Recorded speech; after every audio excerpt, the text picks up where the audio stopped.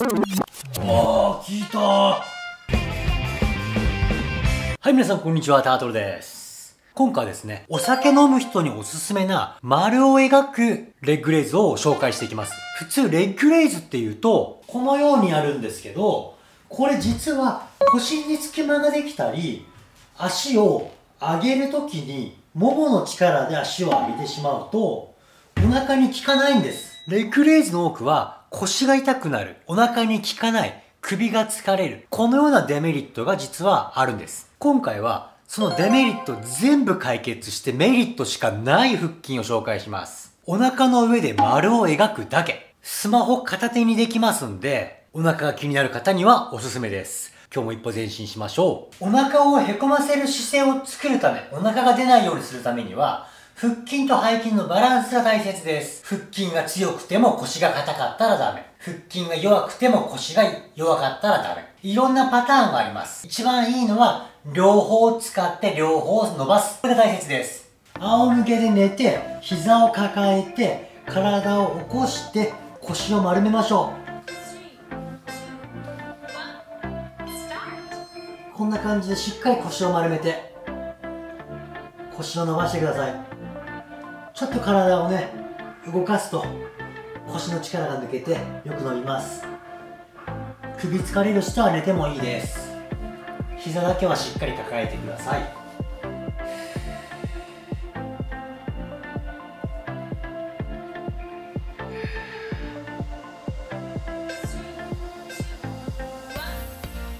OK 次はうつ伏せでお腹を伸ばします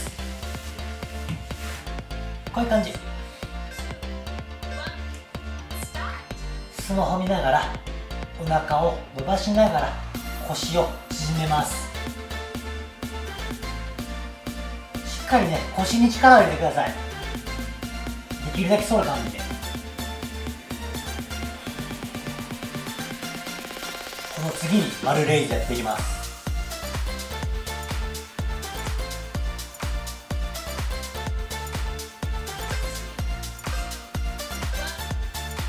OK では行きましょう。仰向けで寝ます。足をね上げて体を起こして丸を描く。お腹の上で丸を描く。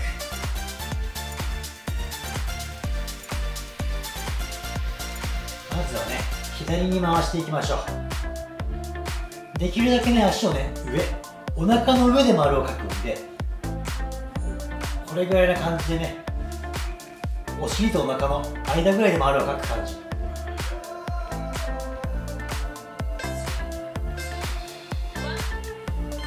OK 次はね反対回しです。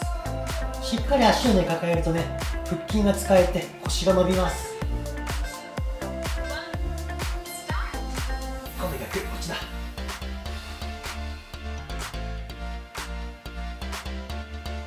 これでね下腹がねすごい使われてます。回すことによってねいろんな腹筋の位置を使うことができてるんであまり辛くないのにしっかり効いてます。これをね何度か繰り返していきます。OK また今度反対回しです。ももが疲れる人はねちょっと曲げてもいいです。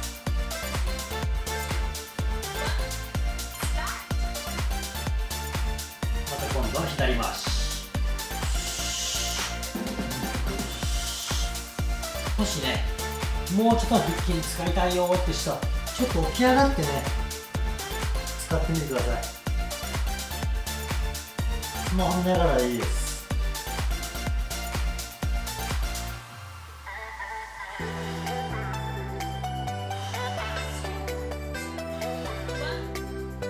で今度はまた右回しです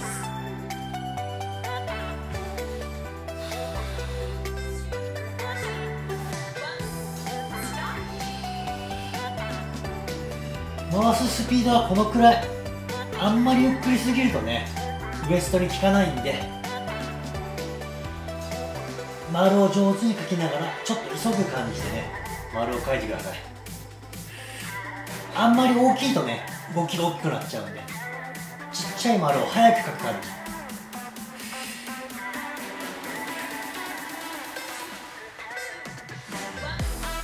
OK もう一回ずついきます。お腹が結構あったかいことないですか？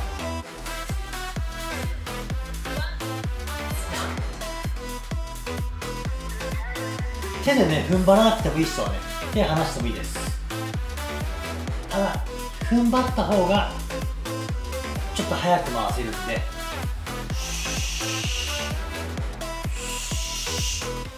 これはね腰のストレッチができたりね腹筋全体が使えます。しかも腰の隙間ができにくい。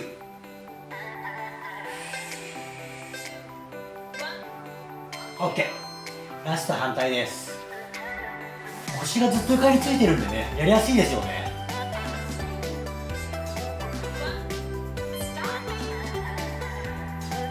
だんだん位置が下がっちゃうんでしっかり上ですね。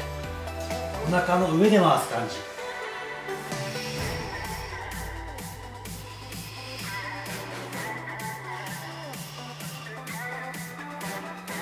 お腹が疲れてくるとね上手に丸がかけなくなると思います。しっかり丸を意識して。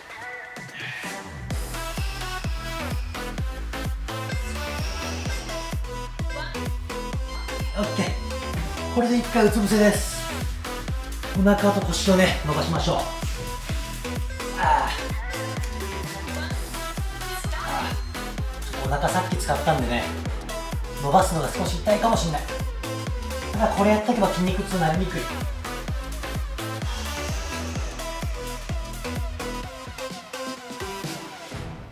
体を少し揺らしてみてください。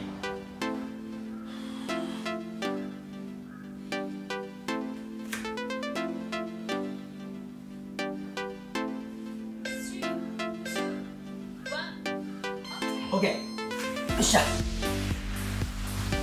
今度はね起きたままで膝を交互にね膝を交互に抱えましょう。だいぶ下腹使う感覚が上手になってると思うんでできるだけ状態を起こしておいてください。首つらい人は寝てもいいです。お腹を少し長い時間使うことでねお腹に熱持って脂肪は減りやすくなります。きる人は起き上がったまま。OK 今度はね足伸ばしたら抱える。逆回しです。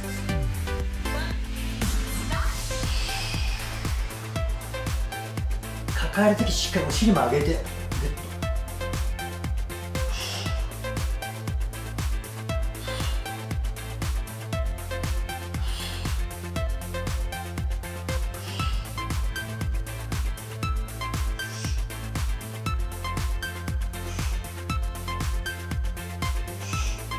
グッと座り方は寝てもいいです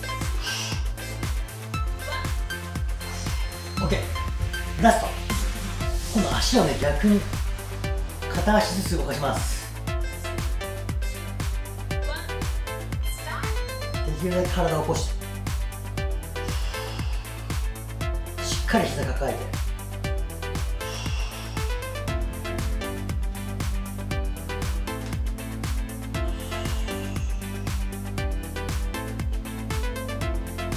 です